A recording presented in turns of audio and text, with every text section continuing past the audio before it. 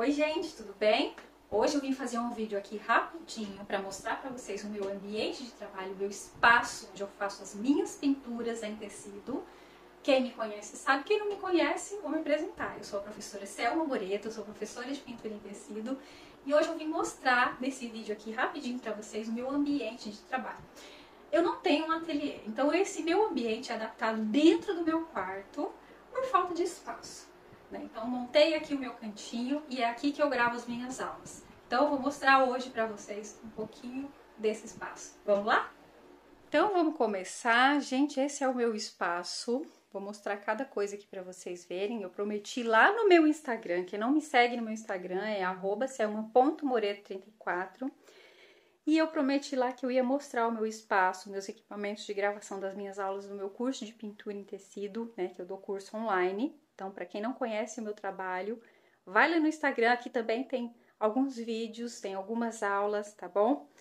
Então, vamos lá. Gente, olha só, aqui é a minha mesa. Esse ambiente é dentro do meu quarto, gente. Eu não tenho um ateliê, eu não tenho espaço para ter um ateliê, então eu tive que adaptar o meu cantinho de pintura dentro do meu próprio quarto. Tive que trocar uma cama grande por uma cama pequena para caber, porque senão não cabia nada aqui e fui adaptando. Então, a mesa, ó, é uma mesa bem grande, tá? É, é, é aqui nessa mesa que eu faço as minhas pinturas. Então, tem que ser grande porque eu faço muita bagunça também, eu esparramo vidro de tinta, e, e, a gente sabe que precisa de espaço, né?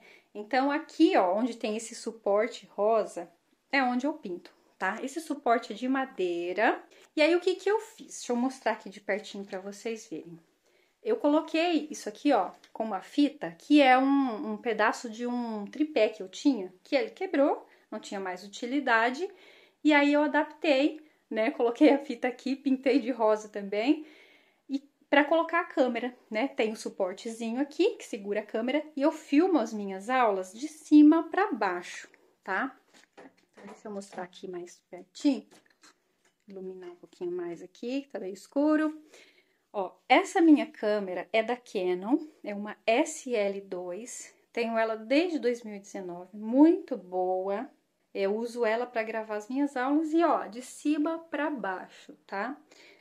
Aí tem adaptado aqui um microfone que vai, né, daqui de um, de um, de um lugarzinho aqui que tem aqui na câmera para para adaptar o microfone. Microfone muito bom também, tenho ele também desde 2019. Deixa eu mostrar a marca aqui, olha só.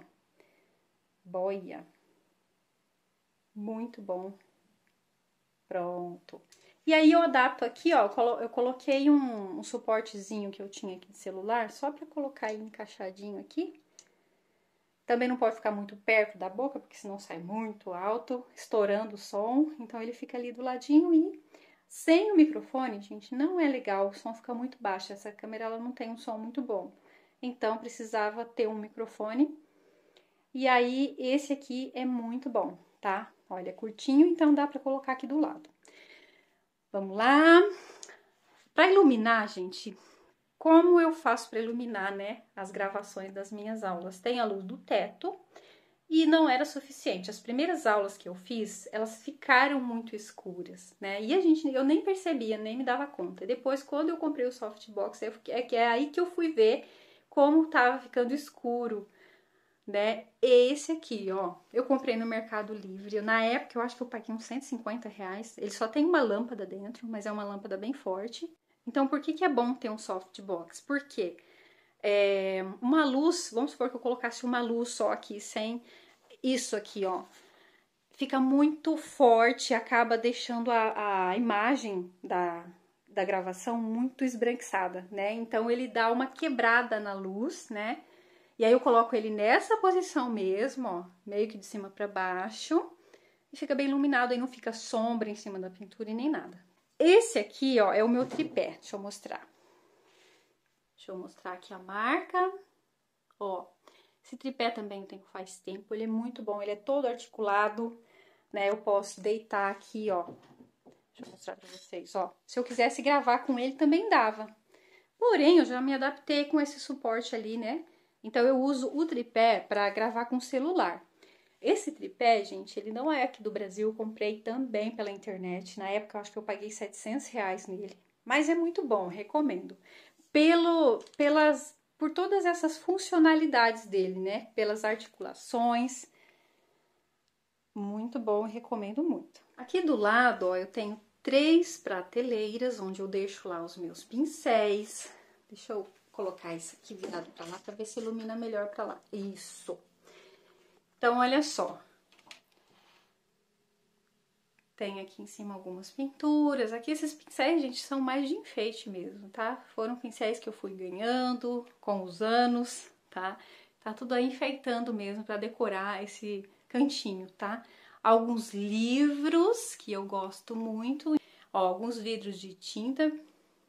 Então, essa parte é mais para decorar o ambiente, né, para personalizar. E aqui atrás da minha mesa tem esse. Isso aqui, gente, que eu não lembro o nome agora, também comprei pela internet. É um MDF, ele vem com esse quadro aqui e ele vem com esses buraquinhos. Então aqui atrás, ó, fica um espaço entre a parede e ele, né? Onde a gente coloca esses ganchinhos aqui. E daí a gente pode pendurar tem vários vídeos aqui no YouTube de artesãos que, que tem de costura, enfim, que tem assim uma decoração com isso aqui, tá? Então vocês podem pesquisar. É que agora eu não lembro o nome. Mas aí, ó, a gente compra os ganchinhos também. Ali eu coloquei tinta, deixa eu mostrar aqui, ó. É, aí eu coloquei os ganchinhos e coloquei uma, um pedaço de MDF, ó, pra colocar as tintas em cima, tá? E aqui também, ó, para segurar os quadrinhos, né? Esses quadrinhos são todos de pintura em tecido, são aulas do meu curso e são tecidos colados no MDF, tá? Invernizados. Deixa eu mostrar aqui de frente. Então, olha só. E um pouco da minha bagunça tá do lado de cá. Lá em cima, ó, tem algumas telas tudo bem empilhado, porque não cabe nada, né? Aí aqui tem esse armário. Dentro desse armário tem muita coisa. Vou mostrar aqui. Então, é, aqui são alguns tecidos. Ó, um tecido enrolado aqui da Ibirapuera Têxtil. Aqui é minha, o meu MDF, que tá até com uma pintura ali que eu, tá começada, né? Que eu fiz, essa, fiz ontem. Aí alguns tecidos. Desse, nessa outra repartição aqui tem HD, tem secador de cabelo. Aqui eu, fica a minha câmera, eu guardo ela aqui. Aqui tem, ó, umas bandejinhas de isopor que eu uso para limpar os pincéis durante o processo da pintura. Aqui tem tinta da Acrylex, mais pinturas aqui. Enfim, ó, minha bagunça tá tudo aqui escondida, né? Então fica tudo organizadinho aqui dentro. Aqui uma cadeira que já fica também aqui sempre, ó, com a almofada, porque a gente fica muito tempo sentado, então tem que ser, tem que ser confortável, né?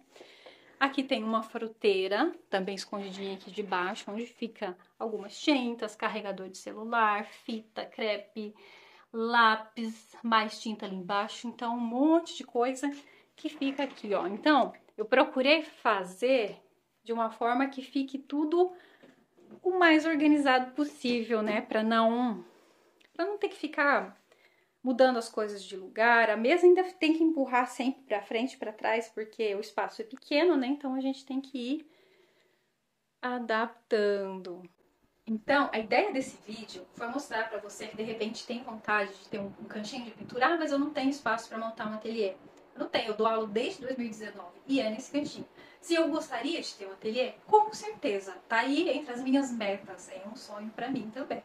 Mas enquanto eu não posso ter esse espaço exclusivo para isso, eu adapto, né? Então, tendo assim o básico, né, os equipamentos básicos também, né, se a intenção sua, se a sua intenção fosse dar aula, ensinar, ter o básico, né, para você começar e conforme você vai sentindo necessidade, você vai adquirindo depois ao longo do tempo, tá? Então, falta de espaço não é desculpa, né? Eu adaptei o meu quarto, é, tinha uma cama grande, aí coloquei uma cama pequena para caber tudo isso, né? Fica apertado?